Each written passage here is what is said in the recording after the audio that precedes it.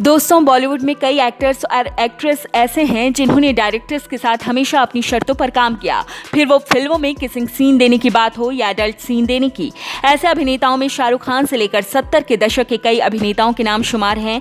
तो दोस्तों, आज हम आपको बॉलीवुड के माचो मैन कहे जाने वाले धर्म पाजी से जुड़ा एक ऐसा किस्सा सुनाना चाहते हैं, जब एक डायरेक्टर धर्म पाजी को बिना बताए फ़िल्म में ऐसे सीन जोड़ दिए थे, जिसकी वजह से धर्मेंद्र को शर्मसार होना पड़ा। दोस्तों, सनी और बॉबी देओल के पापा, यानी कि धर्मेंद्र ने 70 और 80 के दशक में बॉलीवुड इंडस्ट्री पर राज किया। तब धर्म पाजी को बॉलीवुड के आयरन मैन और माचो मैन की उपाधि दी गई। तब धर्म पाजी एक ऐसे कलाकार थे जिनकी बॉडी पर लड़कियाँ क्या लड़के भी फिदा थे। लेकिन धर्मेंद्र ने अपनी लाइफ में एक ऐसी गलती कर ली, जिसके कारण उन्हें शर्मिंदगी का सामना करना पड़ा।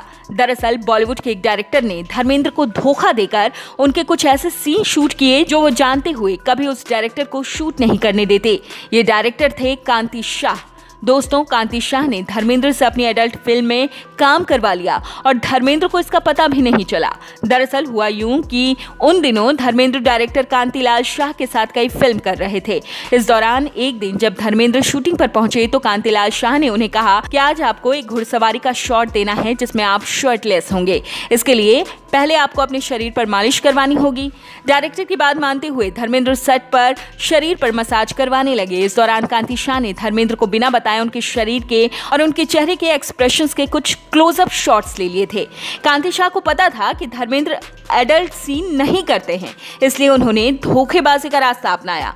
बाद में कांति शाह ने धर्मेंद्र के बॉडी डबल को लेकर एक रेप सीन भी शूट करवा लिया और एडिटिंग के ज़रिए धर्मेंद्र के शॉर्ट्स को इस सीन में डाल दिया। बाद में इंडस्ट्री के लोगों ने देओल परिवार को इस बारे में जानकारी दी।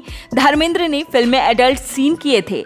तब धर्मेंद्र ने अपने बेटे सनी देओल को बताया कि उन्होंने तो कभी किसी फ़िल्म में एडल्ट सीन किया ही नहीं। बाद में सनी ने डायरेक्टर कांति शाह को अपने घर बुलाया।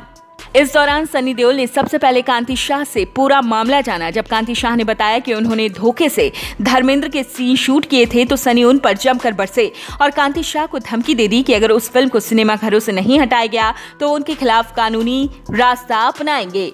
इसके बाद कांति शाह काफ़ी डर गए और उन्होंने सनी देओल के कहने पर फ़िल्म को हटा लिया। इसके बाद ये फ़िल्म कभी सिनेमा घरों तक नहीं पहुँची। तो दोस्तों, आपको हमारा ये वीडियो कैसा लगा? नीचे कमेंट बॉक्स में कमेंट करके अपनी राय हमें ज़रूर बताएँ। साथ ही बॉलीवुड और टीवी इंडस्ट्री से जुड़ी ऐसी लेटेस्ट खबरों के लिए हमारे चैनल को सब्सक्राइब करना ना भूलें।